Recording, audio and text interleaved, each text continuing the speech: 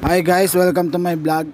Ngayon po ay pupunta tayo sa Manila Baywalk at Raha Sulaiman Park para makita natin ito ang ang gandahan nito kahit sa araw man o gabi. Tara, samahan niyo ako.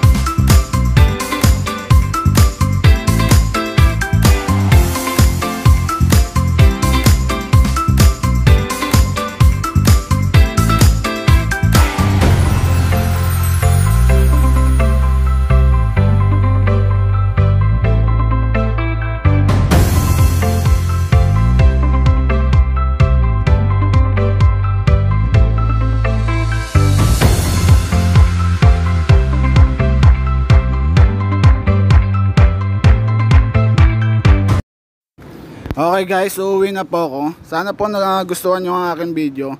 Huwag niyo pong kalimutan mag-subscribe sa aking YouTube channel. Hanggang sa muli, salamat!